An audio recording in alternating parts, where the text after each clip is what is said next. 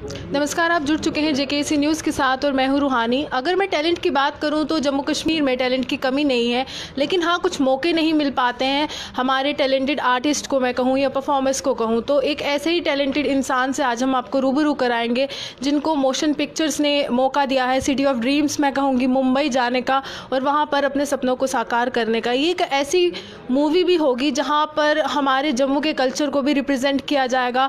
Local artist भी इसमें participate करेंगे और ये दिखाएँगे कि जम्मू में जो है टैलेंट की कमी नहीं है। अगर हम लोगों को भी मौके मिले, हम लोगों के यहाँ पर भी फ़िल्म इंस्टीट्यूट्स की ओपनिंग हो, लॉन्च हो तो सीखने के साथ साथ एक ग्रूमिंग भी होगी हम सबकी और एक अच्छा फ्यूचर जो है हम लोगों को भी मिलेगा।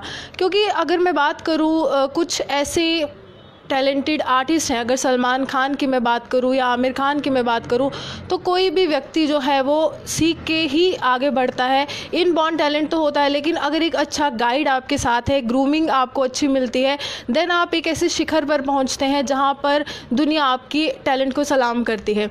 तो जानू कटोच जी हमारे साथ मौजूद हैं। अगर मैं इनके बारे में बताऊँ तो बहुत ही टैलेंटेड एक्टर हैं। हमारे जम्मू से बिलोंग करते हैं और सबसे अच्छी बात यह है कि मुंबई में सिटी ऑफ़ ड्रीम्स में इनको जाने का मौका मिला और वहाँ पर अपने टैलेंट शो करने का मौका मिला। आइए जानते हैं कि उनकी जर्नी की शुरुआत कहाँ से हुई और आगे जो है उनका एम्बिशन कहाँ है किस शिखर तक वो पहुँचना चाहते हैं।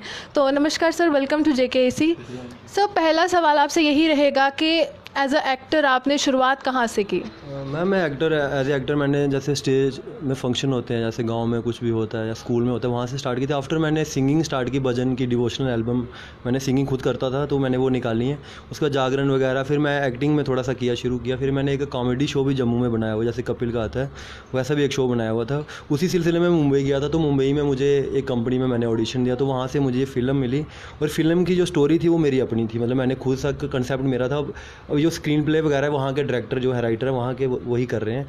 और इसमें अच्छी बात यह है कि जो जम्मू की हमारी कुछ जगह ऐसी हैं रिप्रेजेंट नहीं हो पाती, उनको आगे मतलब पता नहीं चलता लोगों को कुछ जगह ऐसी हैं। हम उनको भी करेंगे और जम्मू का कल्चर और साथ में कुछ फ़िल्म हिंदी फ़िल्म के साथ साथ इसमें डोगरी के कुछ डायलॉग भी रहेंगे साथ में डोगरी जो है वो टच रहेगा साथ में। सर एक इंस्पिरेशनल फिगर होता है हर इंसान की ज़िंदगी में, जिसको